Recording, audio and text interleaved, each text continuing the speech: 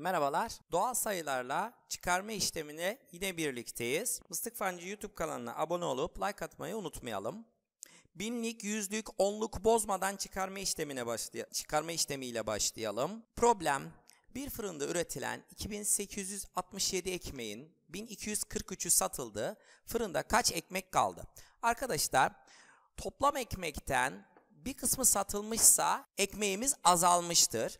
Azalan işlemleri bulmak için biz çıkarma işlemi yapılırız.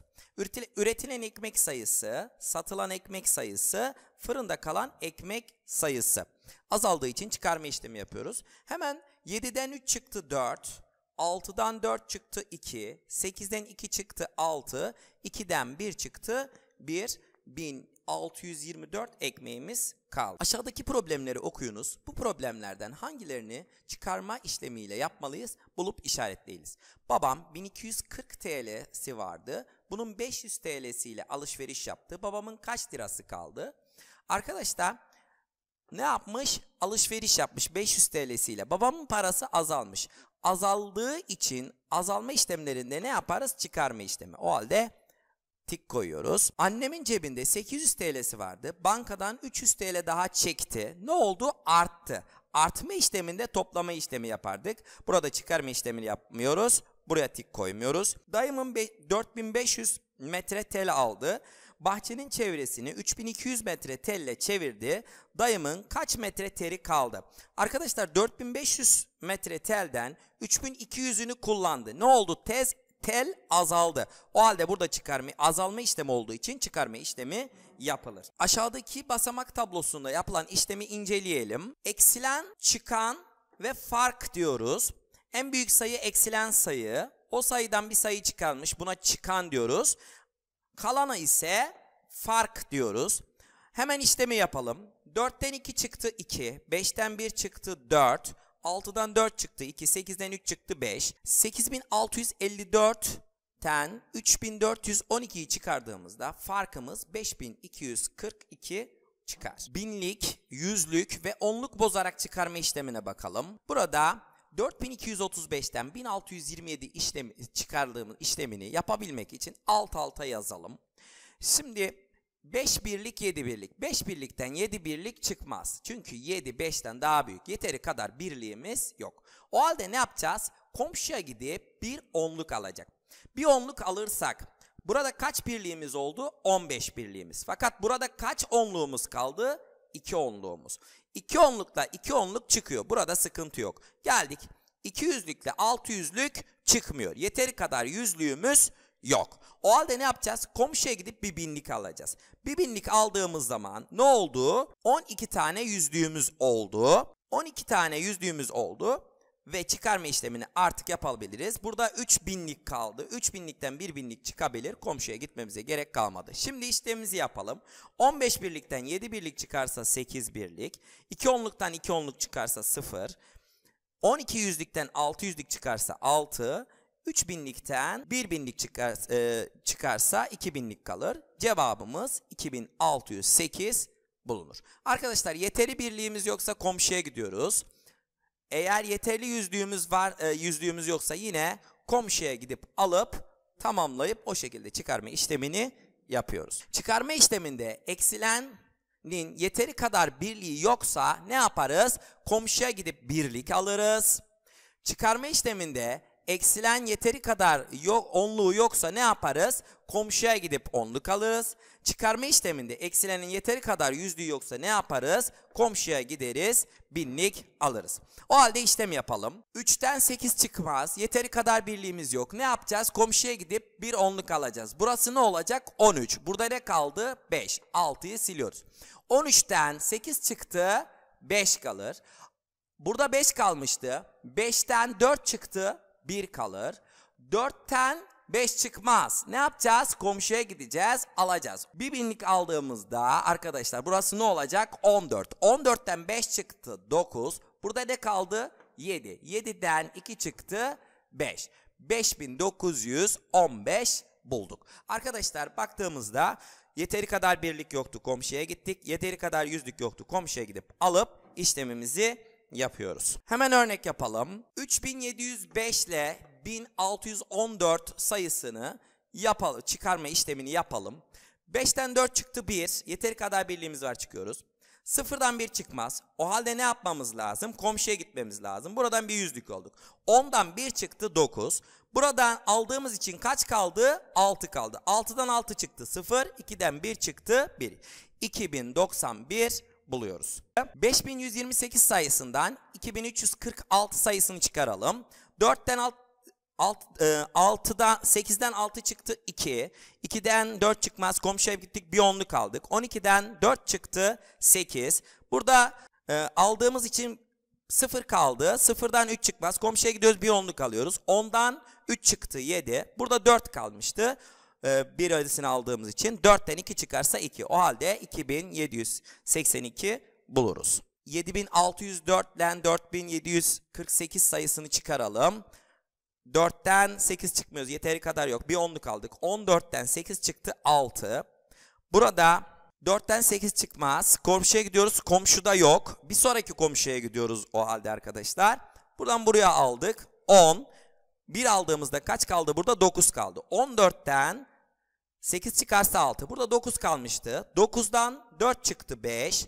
Buradan aldığımız için 5 kalmıştı. 5'ten 7 çıkmaz. Komşuya gittik bir onluk aldık. 15'ten 7 çıkarsa 8. Burada bir tanesini aldığımız için 6 kalmıştı. 6'dan 4 çıkarsa 2. Arkadaşlar aldığımızda hemen üzerini çizip kaç tane kaldığını, kaldığını yazarsak daha kolay olur. Bakın aldığımızda buradan birini aldık. Kaç kaldı? 9. Üzerine yazarsak işlemi daha kolay yaparız. Basamaklardaki verilmeyen rakamları bulma işlemleriyle devam edelim. Üçgen eksi 9, 7, 2, 1. Evet. Baktığımızda arkadaşlar eğer burada üçgeni bulmak için 7 ile 9'u toplarsak bakıyoruz 7 artı 9 10'dan büyük. Öyleyse işlem yapılırken onluk bozulmuş. Onlar basamağında bir onluk alınmış. Eksilen bir onluğu kalmıştır. Hangi sayıdan 9 çıkarırsak 7 kalır düşüncesiyle 9 ile 7'yi toplarsak 16. O halde öyleyse üçgenimiz ne olacaktır? 6 olacaktır. Burada 1 kaldığı için birden 1 çıktı 0. İşlemde yüzlük bozulmamış. Şimdi bakalım 4'ten herhangi bir şey çıkardığımızda 6 kalmayacak. O halde ne olmuştur? Buradan bir onluk alınmıştır. İşlem yapılırken binlik bozulmuş. Eksilen 4 binliği kalmıştır. Burada 4 binlik kalmış. 14'ten hangi sayıyı çıkarırsak 6 kalır? Arkadaşlar 14'ten 6'yı çıkarıyoruz 8. Öyleyse kare ne olacaktır? 8 olacaktır. Burada 4 kalmıştı. 4'ten 2 çıktı. 2 şeklinde buluyoruz. Arkadaşlar eğer eksilende ise verilmeyen çıkan ve farkı topluyoruz. 7, 9 daha 16. 16'nın 6'sıdır üçgen. Eğer verilmeyen çıkanda ise ikisini ne yapıyoruz arkadaşlar? 6'dan e, 14'ten 6 çıkardığımızda 8'i buluyoruz. Verilmeyen çıkanda ise buradaki sayıyla buradaki sayıyı çıkarmamız için 14'ten 6 çıkarsa 8 şeklinde yapıyoruz. Hemen verilmeyeni bulalım. Arkadaşlar 6'dan 4 çıktı 2. Herhangi öyleyse işlem bozulmamıştır. Onluk bozulmamıştır. Biz eğer eksilendeyse şey yapar. Ne yapıyorduk? Bununla bunu topluyorduk. 7 7 14. O halde bu ne olacaktır? 4 olacaktır. Yine buraya geldiğimizde buradan 2 kalmıştı. 2'den 10 çıkıp 2'den 5 çıkmaz. Buradan bir 10'luk alınmış. 6 kalmış. 10 12'den 5 çıkarsa 7. Burada 6 kalmıştı. 6'dan neyi çıkarırsak 3. 6'dan 3'ü çıkarırsak 3 çıkar. O halde yıldız 4, daire 3 olacaktır. Verilmeyen eks, e, verilmeyen eksileni bulma. Aşağıdaki örnekte dikdörtgen eksi 2873 eşittir 1409 işleminde verilmeyen eksilen bulunmuştur. Burada arkadaşlar hangi şu şekilde yazarsak önce sözlü ifade şeklinde yazarsak daha kolay buluruz. Hangi sayıdan 2873'ü çıkarırsak 1409 kalır diye düşünüyoruz. Arkadaşlar eksileni bulmak için çıkanla fark toplanır, eksilen bulunur. Hemen çıkanla farkı toplarsak 2873'te 1409'u toplarsak ne buluruz? 4282 buluruz. O halde düşün e, eksilenimiz ne çıktı? 4282 çıktı. Bir işlemi yapmadan önce sözsel ifade yazmak bize soruda bizden ne istediğini anlarız. Yukarıdaki örnekte de ne öğrendik? Eksileni bulmak için çıkarla farkın toplanacağını öğrendik. Şimdi arkadaşlar eksileni nasıl bulduğumuzu arkadaşlarımıza anlatalım.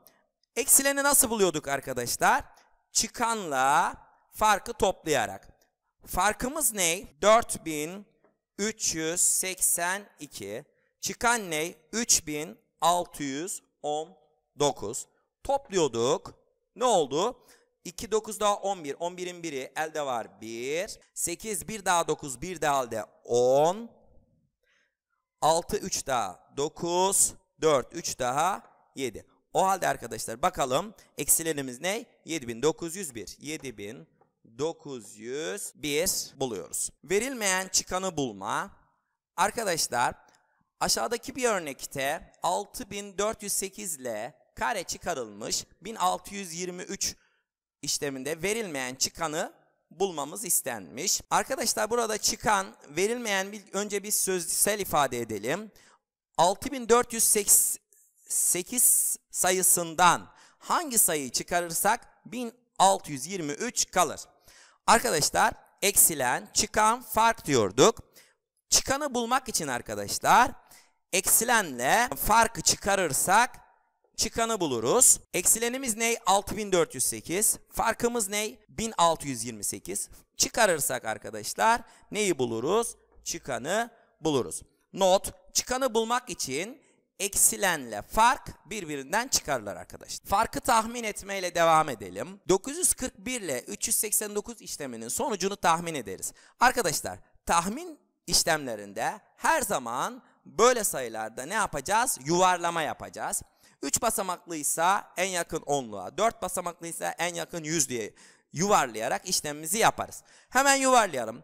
941 sayısı 940 sayısına yuvarlanır. 389 sayısı 89 100'e daha yakın olduğu için 390 olur. Çıkardığımızda arkadaşlar 9 daha e, 10'a daha yakın olduğu için yukarıya yuvarlıyoruz.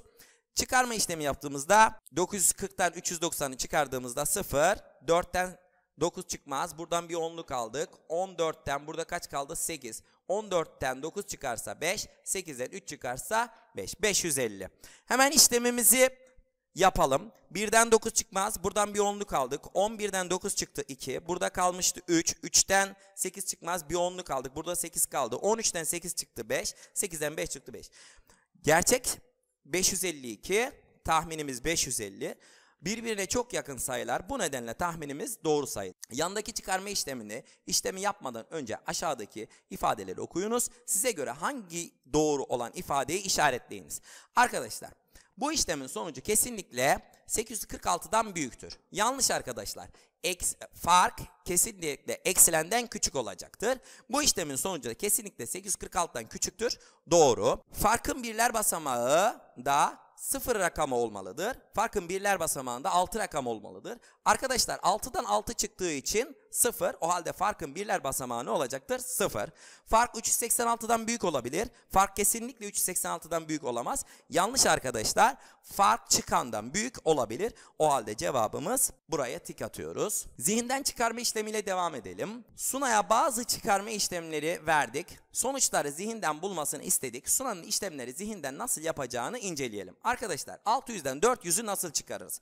Arkadaşlar 6'dan 4'ü çıkarıyoruz. Ne kalır? 2. Yanındaki sıfırları yazıyoruz. 200. Yani yüzlükleri birbirinden çıkarıyoruz. 6'dan 4 çıktı 2. Yanına sıfırlar attığımızda 200 buluyoruz. 900'den 500'ü zihinden nasıl çıkarıyoruz? 9'dan 5'i çıkardık 4 yanına sıfırlar attığımızda hemen 400 diyoruz. Aynı çıkarma işlemlerini Murat'a da sorduk. Sonuçları zihinden çıkarmasını istedik. Murat'ın işlemlerine bakalım. 600'den 400 çıkarsak arkadaşlar 6'dan 4 çıkarırsa hemen 2 hemen 200. 9'dan 5 çıkarsa 4 hemen 400 diyoruz arkadaşlar. 9'dan 5'i çıkarıyoruz. 4'ün sağında 2 tane sıfırı yazıyoruz. Cevabımızı 400 buluyoruz. Evet bi- biraz da biz yapalım arkadaşlar. Yine zihinden yapalım. 7'den 4 çıkardık. 3. Yanındaki sıfırları hemen atıyoruz. 300 buluyoruz. Arkadaşlar 7'de yüzlükleri hemen çıkarız. 7'den 4 çıktı. 3 yanındaki sıfırları atarak işlemimizi yapıyoruz. 700'den 4 çıkarsa 300 kalır. Örneklerle devam edelim. Bunu kendisi yapmış. 5'ten 2 çıktı. 3 300. 9'dan 6 çık 9'dan 3 çıkarsa 6 yanındaki sıfırları atıyoruz. 600. Şimdi arkadaşlar bunu kendisi yapmış. 4'ten 2 çıkarıyoruz. Yanına sıfırların yerine 63'ü yazıyoruz. 7'den 4 çıktı. 3. Kalan sıfırların yerine 96 yazıyoruz. 396. 7'den 5 çıktı 2. Yanına sıfırlar yazıyoruz. 200. 6'dan 4 çıktı 2. Yanına sıfırları yazıyoruz. 200. 800'den 500 çıkarmak için 8'den 5 çıktı 3. Yanına sıfırları yazıyoruz. 6'dan 3 çıktı 3. Kalanı 19'u sıfırların yerine yazıyoruz. 319. 5'ten 9 çıktı. 9'dan 6 çıktı. 9'dan 6 çıktı.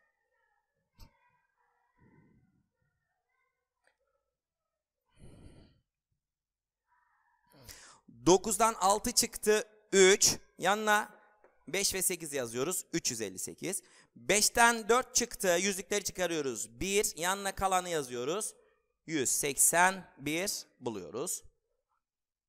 Mıstık Fen YouTube kanalına abone olup like atmayı unutmayınız. Beni dinlediğiniz için teşekkürler arkadaşlar.